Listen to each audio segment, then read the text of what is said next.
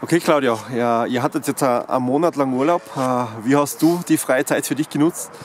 Ja, ich war natürlich wieder in der Schweiz, äh, habe meine Familie, meine Freunde wieder gesehen und äh, ja, habe natürlich auch ein bisschen trainiert. Und, äh, aber jetzt freue ich mich, dass es wieder losgeht. Ja, ich habe es natürlich vom Athletikcoach äh, Hausaufgaben mit, äh, mitnehmen müssen. wie war die Umsetzung? Ja, es war, es war okay. Das Programm war, war gut vom Umfang, war, war in Ordnung. Und äh, ich für mich, ich kann sowieso nicht einen Monat nichts machen, weil dann werde ich völlig unruhig. Deshalb ist es für mich nicht so ein Problem. Mhm. Äh, für einen Fußballer ist es ja ziemlich normal, äh, viele Trainer zu haben in seiner Karriere, aber drei Trainer in einem halben Jahr, das ist was Außergewöhnliches. Ja, klar, aber wie wir alle wissen, ist im Fußball extrem schnelllebig und äh, es spielen viele Faktoren äh, dazu.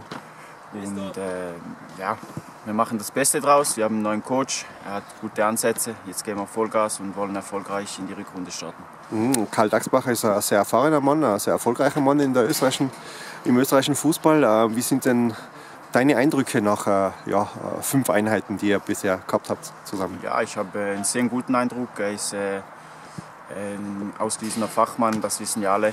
Und ja, es macht auch Spaß, mit ihm zusammenzuarbeiten. Und jetzt freue ich mich auf die nächste Woche. Mhm. Ähm, der Winter hat das Land fest im Griff. Äh, das heißt, ähm, viel, viel Arbeit auf dem Kunstrasen. Äh, wie geht es dir mit, mit Training auf Kunstrasen? Für mich ist das nicht so ein Problem. Ich war in der Schweiz auch schon in einer Station, wo wir im Stadion Kunststraßen hatten, also das ganze Jahr über auf Kunststraßen trainiert haben. Deshalb spielt es für mich nicht so eine Rolle. Und äh, ja, und sowieso, wir haben gar keine andere Wahl, als auf Kunstrasen zu trainieren. Deshalb machen wir einfach das Beste draus. Mhm, am Samstag steht das erste Testspiel äh, vor der Tür. Äh, man fährt nach Bozen, äh, nach Südtirol, gegen den FC Südtirol äh, auf Naturrasen. Ähm, ja, was darf man davon erwarten?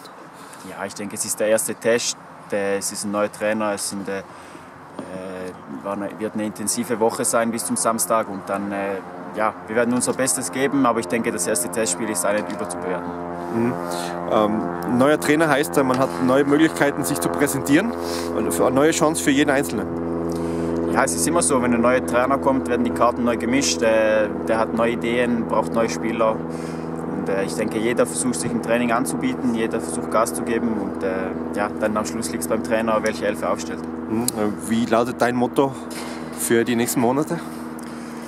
Ja, ich mache es äh, wie immer, ja, aber jetzt, wo, wo Thomas Gumser gekommen ist, äh, habe ich einfach Gas gegeben. Auch wenn ich am Anfang verletzt war, habe ich mich dann zurück in die Mannschaft gekämpft und äh, so werde ich es auch jetzt machen. Ich werde Gas geben, ich werde mich anbieten und der Rest äh, liegt beim Trainer.